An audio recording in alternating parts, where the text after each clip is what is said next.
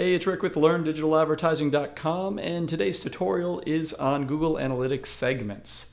So I think that Google Analytics segments are probably the most underutilized feature in Google Analytics, but also one of the most valuable. So I want to go into depth on the different types of segments, what they are, how they're used, give some tips, um, we'll go from there.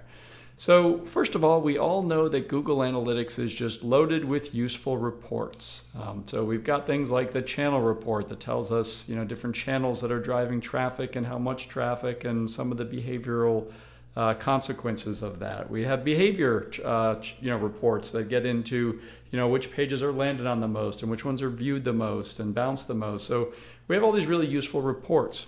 Out of the gate, though, the segment for every one of these reports is all users, right? So that's actually a segment, and that includes everybody who comes to the website. The thing is, and what a lot of people overlook, is you can actually add other segments. So, for example, if I didn't want to look at all users, I just wanted to look at a subset of users, perhaps those from the state of Florida, I could instead remove all users and then just look at Florida users. And what that would basically do then is enable all of these reports to do their job, but only looking at that traffic from users in Florida.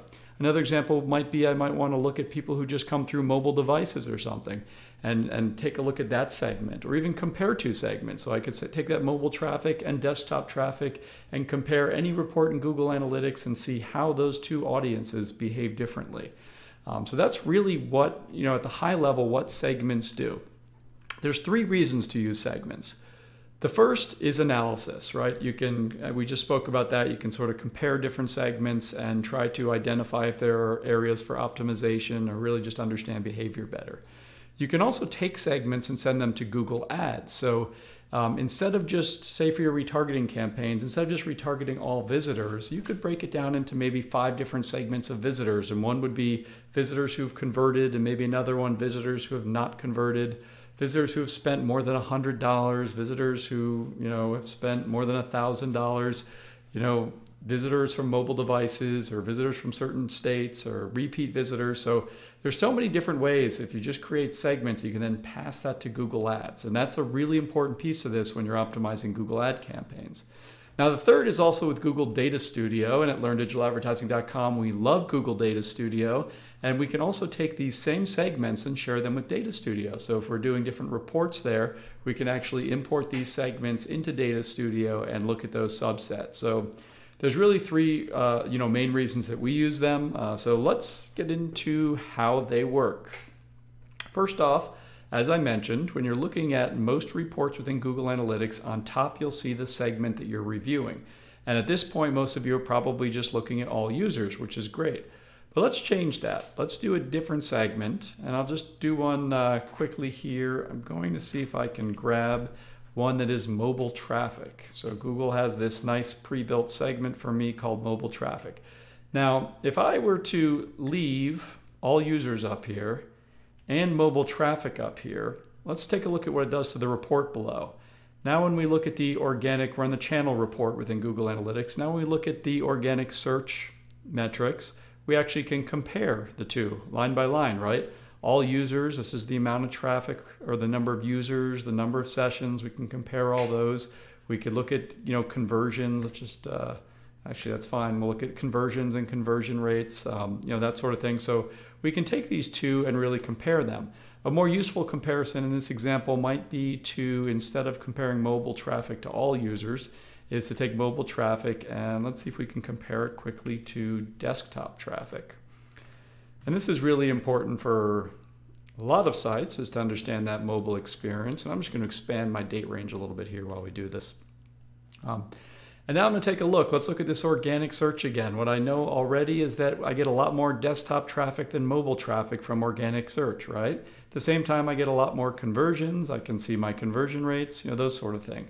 If I were an e-commerce store, this would probably, especially a busy e-commerce store, you know, and this is fairly small data we're looking at now, but I could look at things like the conversion rates and revenue and revenue per visit and all that kind of thing stuff. So that's just a really basic comparison and, and the general idea and the takeaway that you want to you know really think about is you can take multiple segments and stack them here and we could even add a third if we wanted to and compare uh, in this case maybe we'll just add tablet traffic right? So if i'm someone who's uh, sort of charged with uh, with analyzing the you know different major categories of devices you know i could really quickly say okay you know here's my breakdown of different types of traffic here on the whole is how everything performs compared to one another so really great comparison tool um, to begin with now let's go ahead and we're going to remove some of these segments and we're going to talk about the different types of segments quickly. So I'm going to actually go into add a segment. So within Google Analytics, um, you have a screen that shows all of your segments, but you can sort of filter these a little bit on the left column here and first grab the system segments.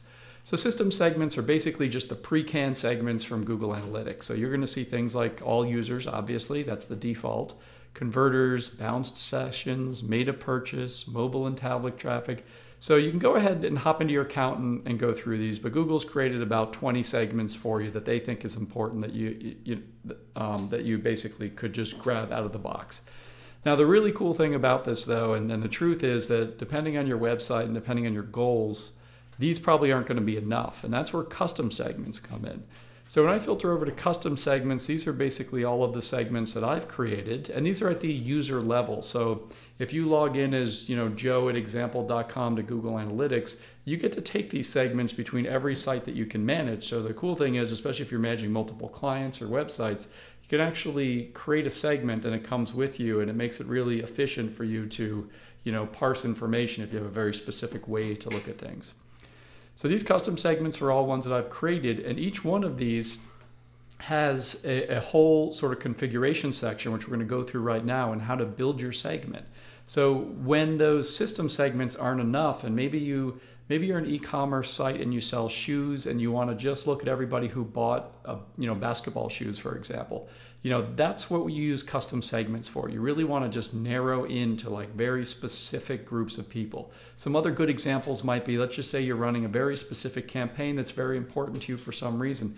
You may want to create a segment and say i only want to look at the traffic that came in from that campaign what that lets you do then is go again through all those different google analytics reports the behavior reports the conversion reports and really just zone in on sort of that type of traffic so Let's look at how the custom segments are created because this is really the most useful tool here. What I'm going to go ahead and do is just click add a new segment.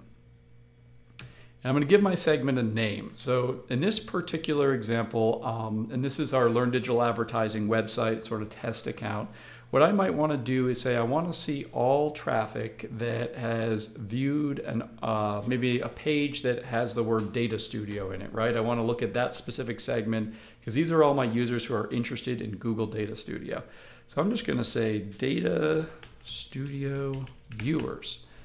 Now, you get sort of a, a, guide of sorts that's going to try to steer you into how to create your segments. So you're going to have things like demographics. Um, this, a lot of these aren't relevant to what we're doing right now, but I kind of want to go through these quickly. And this would be where, well, I want to look at you know certain age groups or certain genders, uh, affinity categories, in market segments, that kind of stuff.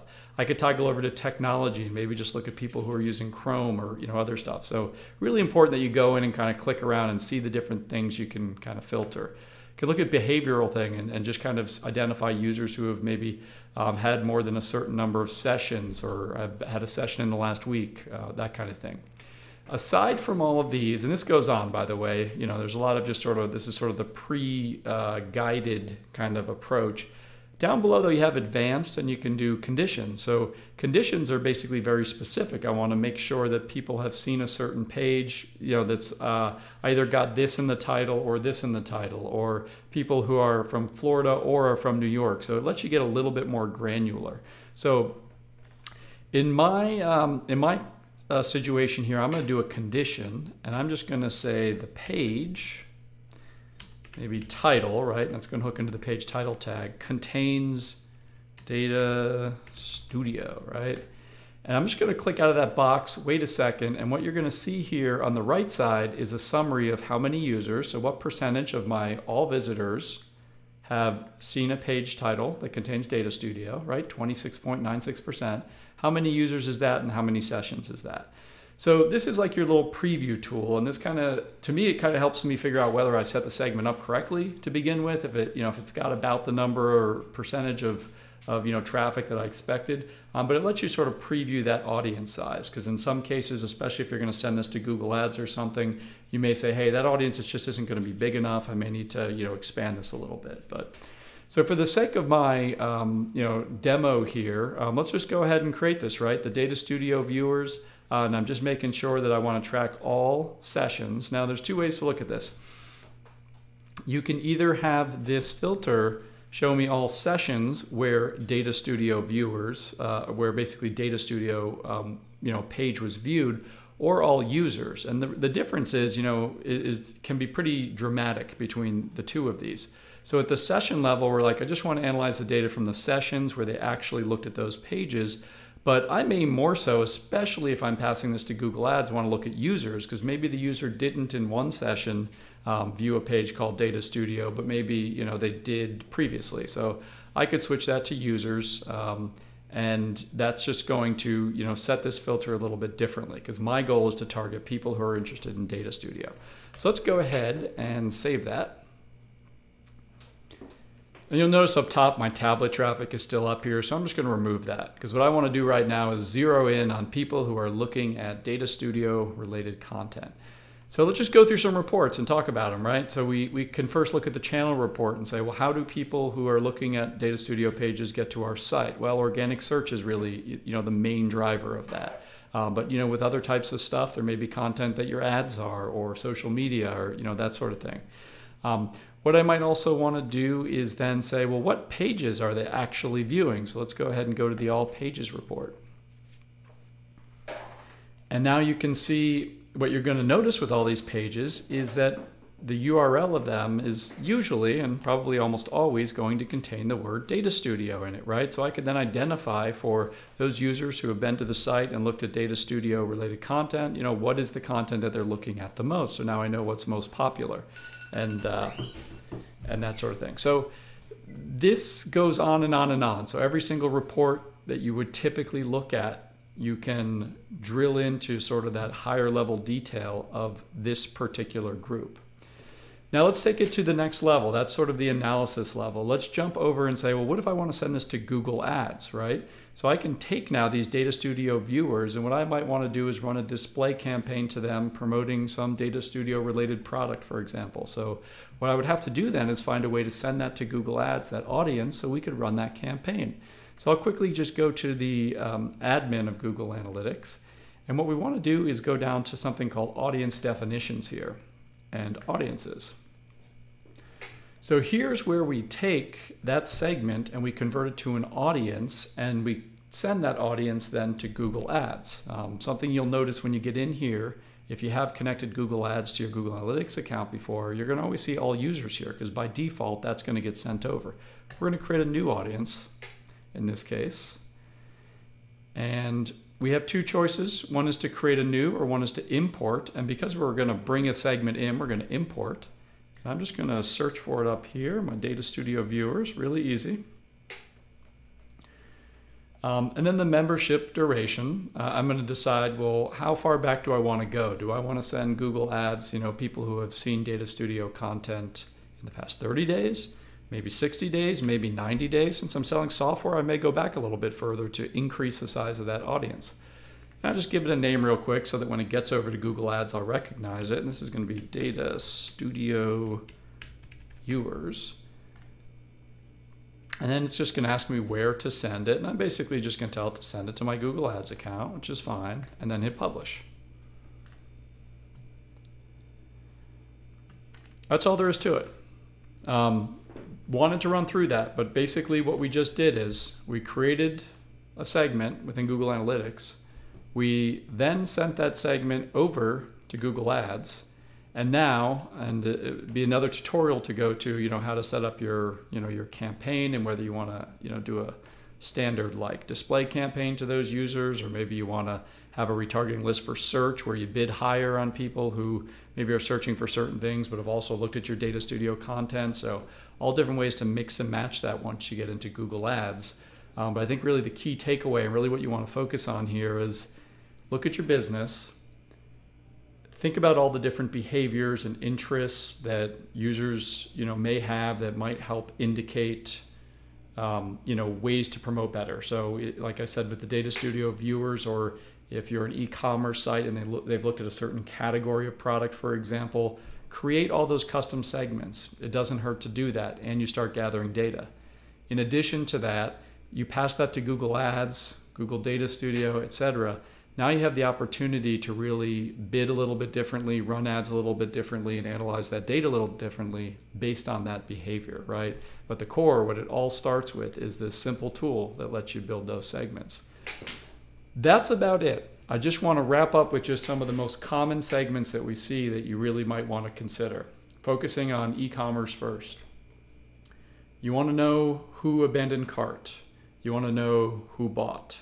Specifically, then, if you're a larger site, because you need a large, you know, because you ideally you want a big audience, you want to think about things like do I have an audience who bought a certain type of product, a certain category of product, spent a certain amount of money?